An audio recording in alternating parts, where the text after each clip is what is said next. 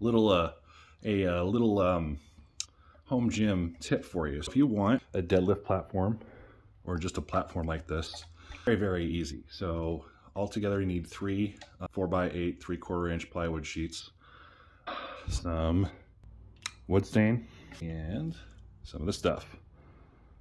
Clear gloss. Screw two of the sheets together, cut the third one in half, put that one in the middle.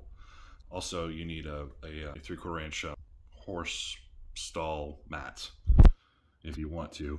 And you can put up in two foot sections and put it there and there. Deadlift platform. That's it.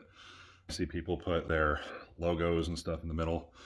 I just, I don't know. I don't need the horse mats because I'm not dropping them very much. I'm trying to set them down. So just do that and don't spend however much people charge for them because that's ridiculous.